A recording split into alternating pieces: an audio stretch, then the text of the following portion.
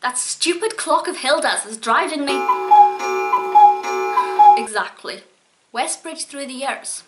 Well, clearly very little has happened in Westbridge through the years. In the last two years, that same spot has been a karate school, a nail salon, a yogurt shop, another nail salon, a Chinese restaurant, and a combination Chinese restaurant and nail salon. I've had days like that. You are a day like that. Dream a little dream of me. So we're in episode 2, season 4, uh, Dream a Little Dream of Me, and while this is the second episode of this season, I feel like this one sets the foundations for the rest of the season much better than the previous episode. We get an introduction to Dreama, who Sabrina is mentoring, and we also get a deeper look at Brad and the fact that he is a witch hunter.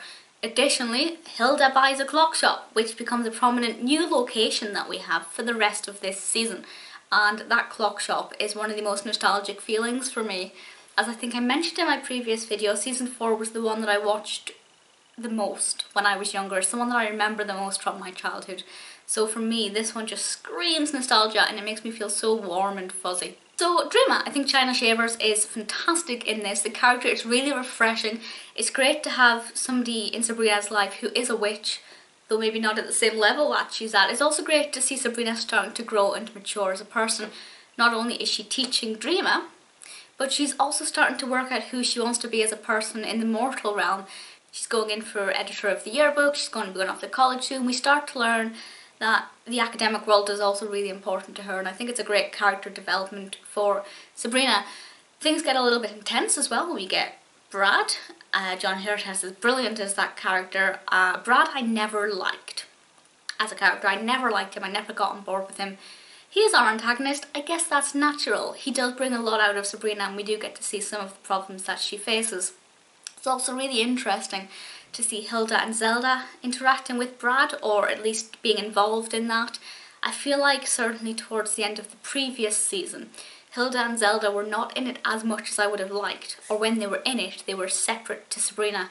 But in this season, and certainly in this episode, they're very closely linked, and I, I love I love that dynamic. Something else we get here, which sets us up for a few episodes down the line, is the magic clock.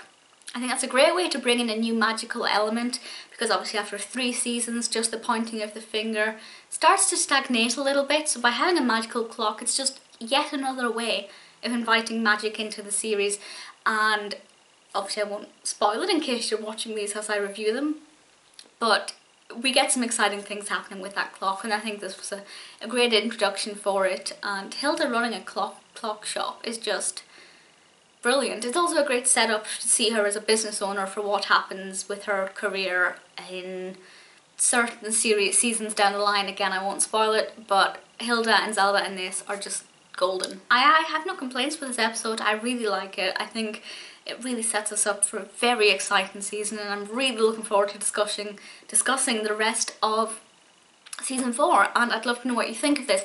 I crunched the numbers. We have 84 episodes left to review, I believe. I've been doing this since I think 2010. I was 18 or 19 and if I do one a month, just one a month, not a massive commitment. I haven't actually been doing one a month so far, so it's a bigger commitment than what I'm currently doing. But if I do one a month and stick to that, it will take me seven years. One for every season of Sabrina to finish doing these reviews. I will be 34.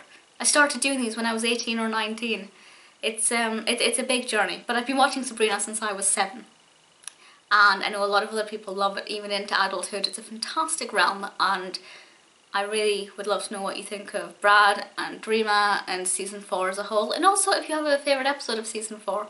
But I have to say, in, in terms of favourite season 4 episodes, I think Dream a Little Dream of Me is a pretty strong contender.